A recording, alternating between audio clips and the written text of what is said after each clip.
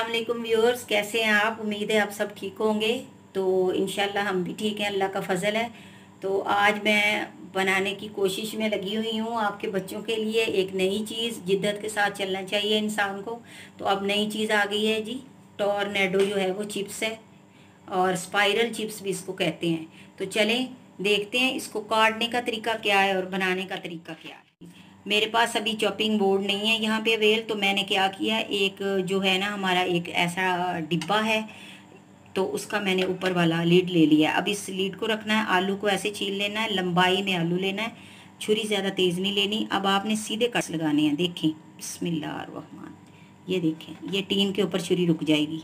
Tin को रखने का मकसद यही है। बिस्मिल्लाह रहीम इसकी आप कटिंग देखें। ये है, काफ़ी डिफ़िकल्ट हाथ से काटना। लेकिन इन ट्राई करते हैं जी। अल्लाह ताला मदद करेगा। ये देखें।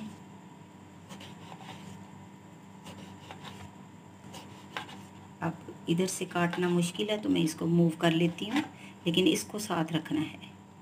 ये देखें। अब क्या करना था? हमारा आलू ऐसे पड़ा था, ठीक है? अब इसी आलू को हमने उल्टा कर लेना है, बिल्कुल उसी तरह जैसे वो था। अब जी, हमने तिरछा काटना है इसको। बिस्मिल्लाह। पहले सीधा, अब तिरछा। तो इनशाला कोशिश करूँगी कि ये कट जाए। हाथ से काटना काफ़ी डिफ़िकल्ट है, बच्चे बहुत पसंद कर रहे हैं। वक्त के साथ साथ जैसे एजुकेशन में नई से नई चीज़ें हैं, इसी तरह खाने में बहुत ज़्यादा वैरायटी आ गई है और हमें वक्त के साथ चलना है। लें जी, अब हमारा आलू कटा है। अब ये हमने लकड़ी की एक स्टिक है स्क्यूज़ तो इसको वुडन स्क्रूज इसको हमने सेंटर में डालना है। बिस्मिल्लाहिर्रहमानिर्रहीम। थोड़ा सा तंग करेगी? सख्त होता है आलू। ये देखें, अब हमारे सेंटर में तकरीबन आ गई है।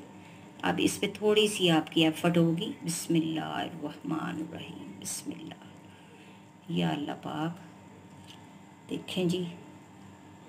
सीखने के लिए कोई उम्र नहीं होती, कोई वक्त नहीं होता। ये नहीं बंदा कह सकता कि, जी, मैं परफेक्ट हूँ। नहीं जी। मेरी ये हैबिट है, मुझे जहाँ से कुछ भी सीखने को मिलता है, चाहे एजुकेशन हो तो चाहे खाना हो, कोई भी चीज़ हो, जो अच्छी चीज़ हो तो मैं इन ताला अल्लाह के फजल से वो सीखती हूँ।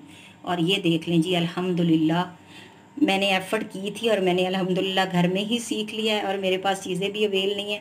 तो ये हम लेम एक्सक्यूज़ नहीं बना सकते कि हमारे पास ये नहीं है, ये नहीं है। सिर्फ़ मोहब्बत होनी चाहिए और मेहनत की आदत होनी चाहिए। ले जी माशाल्लाह हमारी टोरनेडो कटिंग हो गई है। तो अब हम आप इसको ये बना लिए, अब हम आपको इसको फ्राई करके दिखाते हैं। एक मिनट में चलें व्यूअर्स ये देखिए ऑयल हमारा गर्म हो गया।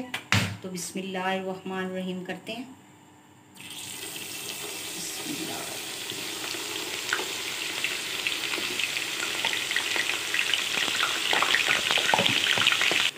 ये देखिए स्पाइसी बनाने के लिए मैंने थोड़ा सा बेसन लिया है, उसमें थोड़ा सा नमक, मिर्च और हल्दी डाल दी है। अब हम इसकी कोटिंग एक की कोटिंग कर लेते हैं ताकि इसका फ्लेवर जो है थोड़ा सा चेंज हो जाए। चलें जी, इसका स्पाइस चेंज करने के लिए ये देखें, ये भी डाल दिया। चलें जी, माशाल्लाह देखते हैं कैसे बनती है। ये देखें माशाल्लाह कलर चेंज होना शुरू हो गया। ये देखें तो अब हम इसकी थोड़ी सी आँच जो है वो स्लो कर देते हैं। ये बेसन वाला बहुत अच्छा बनेगा। अगर आपने कॉर्न फ्लोर और मैदे का बनाना है, वो भी आप बना सकते हैं। ये आपकी अपनी पसंद पे है, आपके अपने टेस्ट पे है। इतनी अच्छी बन रही है और मुझे तो सबसे मज़ेदार ये लग रही है जिसको बेसन लगाया है। अच्छा बेसन में आपने नमक थोड़ी सी सुरख मिर्च और हल्दी और थोड़ा सा गरम मसाला डालेंगे तो क्या कमाल टेस्ट आएगा। अब इनके ऊपर हम डिफरेंट चीज़ें ऐड करके इनकी गार्निशिंग करेंगे और फिर मज़े से खाएँगे बच्चे। ये देखें जी तकरीबन हमारी ये हो गई है।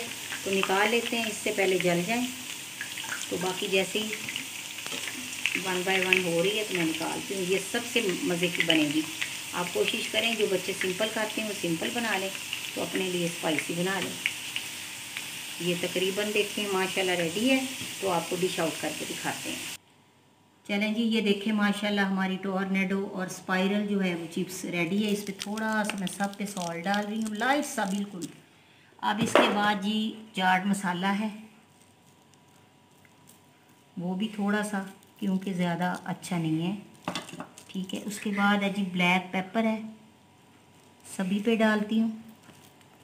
और चलें जी, देखिए, माशाल्लाह हमारी टोर्नेडो या स्पाइरल जो है, चिप्स तैयार है। बाहर आपको कोई ज़रूरत नहीं है, चालीस पचास रुपए एक स्टिक के देने के।